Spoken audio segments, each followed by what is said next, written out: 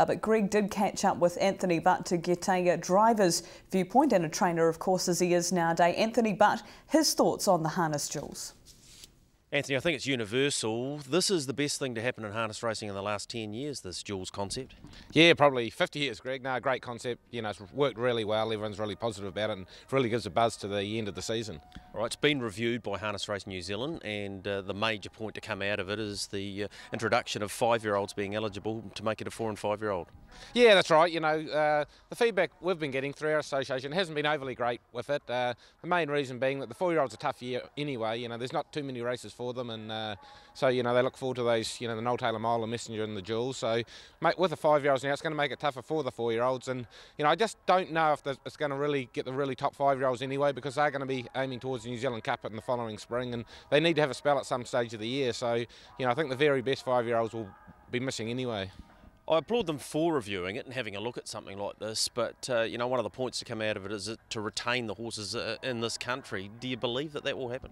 Well, I don't really think it's going to make too much difference. You know, as I said, the four-year-olds, it's a hard transition from three-year-olds to, to cup class. So, you know, those four-year races is a bit of a step in the middle, and everyone, you know, looks forward to it and names for them. So, yeah, I, I might just shift things from, you know, the five-year-old, you know, the four-year-old year to the five-year-olds now. So, um, the four-year-olds, you know, they could just go missing a little bit. Yeah, of course, it's not the only race that uh, is going to add the five year old. It's already happened at Cambridge. Forbury Park have got it, and where we are today, uh, the Polaris is potentially going to become a four and five year old race as well. Yeah, and I, I, can applaud them for looking at. You know, a lot of those races have been small fields over the last few years, and you know it is tough to. You know, you don't know what's going to happen from year to year. So yeah, they, they've got to be looked at, and you know I think that's a good thing. And you know, time will tell if it's the right decision or not.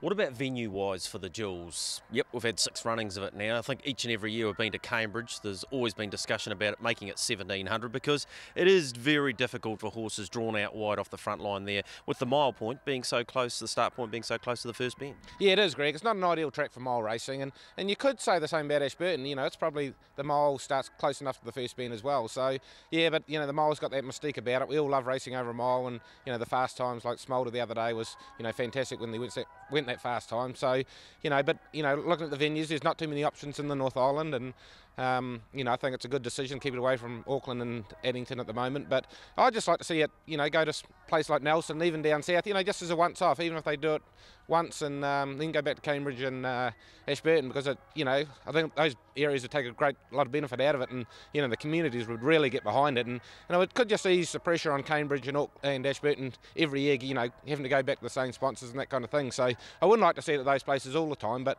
you know, as a one off just here and there, it, uh, you know, might be, mightn't be a bad idea.